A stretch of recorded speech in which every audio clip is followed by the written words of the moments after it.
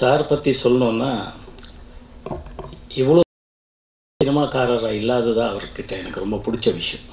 ஏன்னா நானும் அதுதான் விரும்புகிறேன் அத்தனை சினிமா எழுதியிருக்காரு. அத்தனை சினிமா ஃபென்டாஸ்டிக் ரைட்டர் சார் சொன்ன மாதிரி சோ தொகுலக்கிலே சினிமா விமர்சகராக வந்து அதுக்கப்புறம் கதை திரைக்கதை வசனம் எழுதி அதுக்கப்புறம் அவருக்கு ஒரு இயக்கத்துக்கு ஒரு வாய்ப்பு வரும்போது நெஞ்சத்தை கிள்ளாதே ஆகட்டும் உதிரி பூக்கள் ஆகட்டும் ஜானி ஆகட்டும் பூட்டாத பூட்டுக்கள் நண்டு மெட்டி சொல்லிகிட்டே போகலாம். ஒவ்வொரு படத்துலேயும் ஒரு ஒரு வித்தியாசமான ஆங்கிளில் ஒரு கதையை சொல்லியிருப்பார். ஆனால் இப்போ நான் அதை சொல்ல முடியும் அப்போ நான் கற்றுக்குட்டிங்கிறதுனால எனக்கு ஒன்றுமே தெரியாது. பட் இருந்தாலும் எனக்கு இந்த ஒரு நெஞ்சத்தை கிள்ளாத தமிழில் நான் கதாநாயகனாக அறிமுகமாவதுக்கு வாய்ப்பு கொடுத்த தேவி ஃபிலிம்ஸ் கௌரி சங்கர் செட்டியாருக்கு தயாரிப்பாளர். இயக்குனருக்கும் நான் நன்றி சொல்ல கடமைப்பட்டிருக்கேன். இவர் சொன்ன மாதிரி நான் பெரிய சிங்கரோ இல்லை அதெல்லாம் ஒன்றுமே கிடையாது.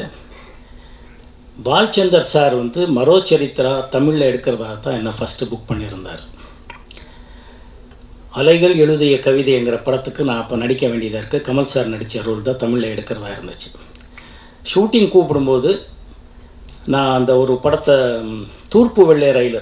சாரோட கிழக்கே போகும் ரயிலில் தெ தெலுங்கில் நடித்து வந்ததுனால மொட்டை அடிச்சிருந்தால அது போஸ்ட்போன் பண்ணி ஒரு six to nine months postpone பண்ணி பண்ணலான்னு போது ஒரிஜினல் மரோ சரித்திரா ரிலீஸ் ஆகிடுச்சு தமிழ்நாட்டில் சூப்பர் ஹிட் அப்போது அனந்து சார் அவர்கள் மகேந்திரன் சார்கள் இந்த கேங்கில் இருக்கும்போது என்னை பற்றி சொல்லி எனக்கு இந்த ஒரு கதாநாயகம் வாய்ப்புக்கு வந்தது. நன்றி.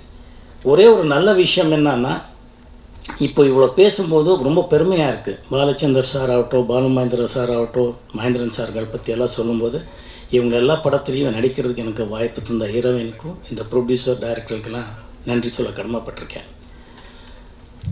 ஒரே ஒரு குழந்தைக்கு சொல்கிற மாதிரி சொல்லுவார் அது ஒன்று தான் சொல்ல விரும்புகிறேன் குழந்தைக்கு கதையை சொல்கிற மாதிரி நடிகர்களுக்கும் சொ- நடிப்பு சொல்லி கொடுக்க மாட்டாருன்னு சொன்னார். பட் அவர் சொல்லி அவர் கதையை சொல்கிற விதத்துலேயும் நடிப்பு சொல்ற சொல்லி கொடுத்துருவார். அதுதான் அவரோட பெஸ்ட்டு டெக்னிக்னு சொல்கிறது உழைப்பாளிங்கிறது எப்படின்னா இப்போ பருவமே புதிய பாடல்னு ஒரு மார்னிங் ஜாகிங் சாங் அந்த படத்தில் நெஞ்சத்தை கிழாதில் ரொம்ப பாப்புலர் ஆச்சு.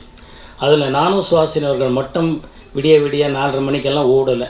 யார் கண்ணன் முதல் கொண்டு டைரக்டர் கேமராமேன் எல்லாரும் நைட் ஷூட்டிங் முடித்து அப்படியே லொக்கேஷனுக்கு போய் ரெண்டரை மூணு மணி மூன்றரை நாலு மணிக்கு அந்த ட்விலைட் வரதுக்கு முன்னாடி ஃபோர் தேர்ட்டி டு ஃபைவ்க்குள்ளே மிகப்பெரிய ஒரு பல்லவி சரணம் ஷூட் பண்ணி போயிட்டுருந்தோம்.